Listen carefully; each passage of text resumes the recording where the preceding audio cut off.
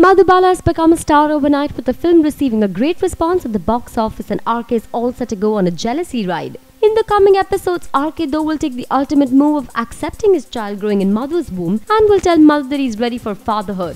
While this will make Madhu extremely happy, RK will also dislike the fact that Madhu likes all the newfound limelight that she has been put in owing to her movie's success.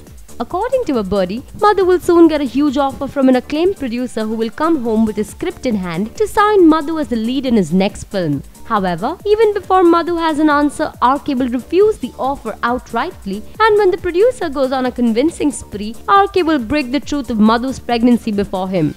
This will hurt Madhu to an extent. However, circumstances will lead Madhu to meeting the producer again, and RK will go on to assume that Madhu has accepted the offer of working in the movie. This will lead to a major confrontation between Madhu and RK, and RK will have some damaging words to tell his wife. The twist in the tale will be when all this will have a bad effect on Madhu and she will start developing pain in her abdomen, post which she will have to be rushed into the hospital wherein she will suffer a miscarriage. But this is not all that Madhu will have to face. While Madhu is still crying over her lost pregnancy, RK will start to believe that Madhu deliberately did certain things so that her child would get aborted. A seed of suspicion will be sown in RK's mind which will take bigger proportions. What do you think of this track? Leave your comments and like the video.